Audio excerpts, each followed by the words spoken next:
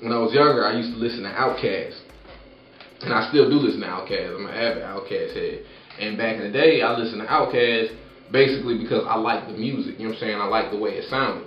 Um, not knowing anything that they was talking about. I mean, it sounded good, but all of those things planted a, a, seed in my head, you know what I'm saying, for me to grow with the music and start to understand the music. And that's the most dangerous thing. You have a young person or a group of young people who are listening to something that's actually progressive.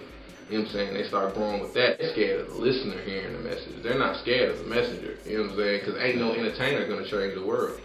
It's impossible. You feel me? All they do is entertain. However, the people who listen you know what I'm saying? The people who catch these ideas, they're scared of that more than anything else. So it makes it by not pushing it, it makes that message harder to obtain. So, so what, what, what artists you think right now like get that message out there?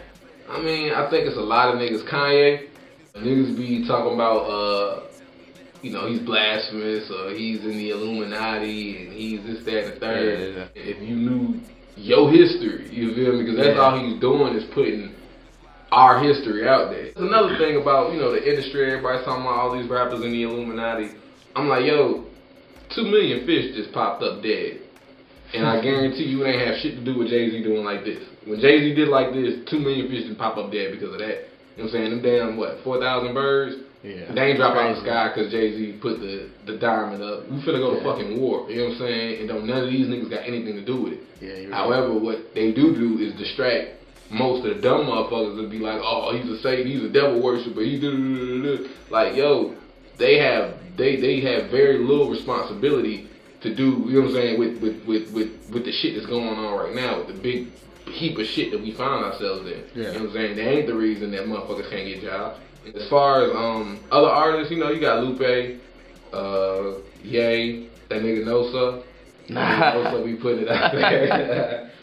but um I mean, I, I, think a lot of people do it in a lot of different ways. I remember, um, if I ruled the world, expose them all to the lies history told foul, but I'm as wise as the old owl, and niggas don't get it. You know what I'm saying? Yeah. Niggas, there's a lot of niggas to this day don't get that line. A lot of these folks, they say like little clever lines, and you can just take it for, oh, that was just a line.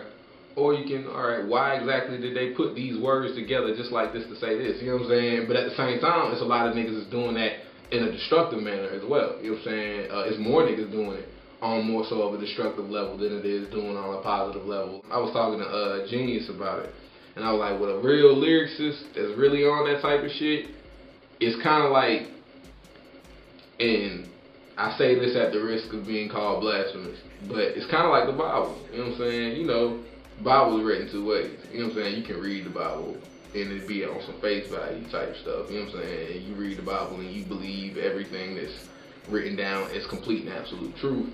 Or you can dig deeper and get the actual meaning of it. Like what Pac said, you know what I'm saying? Stop bobbing your head to the fucking beats and listen to what these niggas are saying. They got hype on the shelf, is you buying it? You ask me, it ain't worth it. I know a couple niggas who copped and told me they weren't too pleased with they purchase. Pissed off, they couldn't even return it. No receipts given, no warranty on the dream that was sold for the fee.